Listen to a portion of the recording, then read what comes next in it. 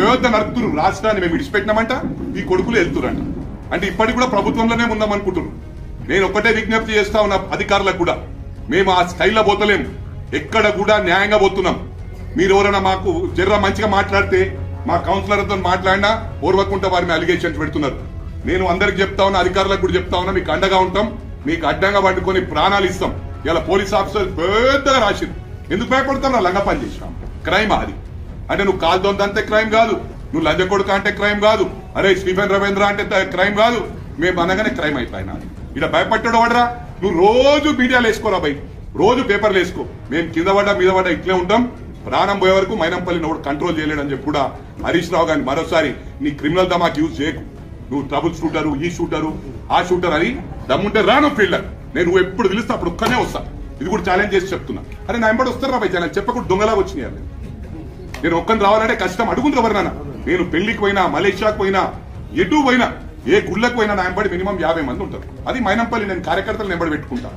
లేకపోతే పత్తలాటోళ్ళను మందు కొట్టోళ్ళను ఇలాగా ఇలాగా వాళ్ళని ఇలా పెట్టుకొని ఆడ గుళ్ళలు ఆడ. నాకు పత్తలాడే అలవాటు లేదు మందు తాగే అలవాటు లేదు ఇక నీలాగా వేరే షోకులు కూడా లేదు.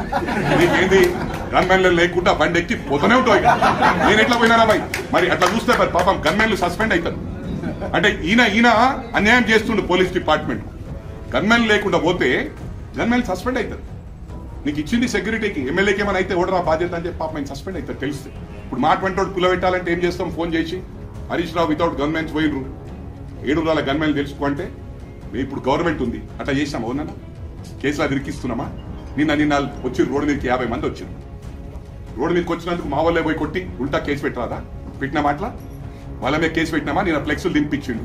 ఈయనకి ఎందుకు వస్తుంది మా సీఎం ఫ్లెక్సులు దింపించిండు. ఓటర్ బస్సులా మహేందర్ ఆర్గనైజ్ చేసిన ప్రోగ్రామ్. చెప్పిరా లేదా? ఒట్టేసుకోని చెప్పిన ఒట్టేసుకోవా మనపూర్వకంగా ఆ, వాటిలో టీహెచ్ఆర్ నగర్లో మరి అదే హరీష్ రావు ప్రభుత్వంలో ఉన్నప్పుడు చెప్తే ఎన్ని కేసులు బుక్ అవుతుండే? ఇప్పుడు మహేందర్ గ- గెలవట్టి already rowdy seat rowdy seat మళ్ళీ ఇంకోటి రెండు మూడు అన్ని మొత్తం సీట్లు కూడా ఓపెన్ చేపిస్తుంది? వాళ్ళు ఎంబడున్నప్పుడే మంచోళ్ళు. మా ఎంబడుంటే లంగలాలు అంటే వాళ్ళు ఎంబడున్న రోజులు హనుమంతరావు మంచోడే మహేందర్ మంచోడే సాకి ఆనంద్ మంచోడే మన సీనన్న మంచోడే ఈ శ్రీనివాస్ రెడ్డి మంచోడే అత్తు మంచోడే ఆ శ్రీనివాస్ రెడ్డి మంచోడే.